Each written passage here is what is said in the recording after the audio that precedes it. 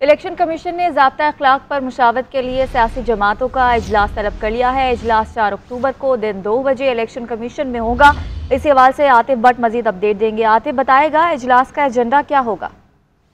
जी, आइंदा आम इंतबात के लिए जो जबता अखलाक की तैयारी है, इलेक्शन कमीशन की जानब से इस पर सियासी जमातों का अहम इजलास जो है वो तलब कर लिया गया है। इजलास चार अक्टूबर को दिन दो बजे इलेक्शन कमीशन में तलब किया गया है। सियासी जमातों को दावतनामे भी अरसाल कर दिए गए हैं और दावतनामों के साथ साथ जो ड्राफ्ट जबता अखलाक है उसकी कापी भी सियासी जमातों को भिजवा दी गई है। सियासी जमातों को ये कहा गया है कि वो इस जो जबता अखलाक है मुजवजा जबता अखलाक है इस पर फीडबैक और जो सियासी जमातों की तजावीज़ हैं वो इस हवाले से भी आगाह करेंगी।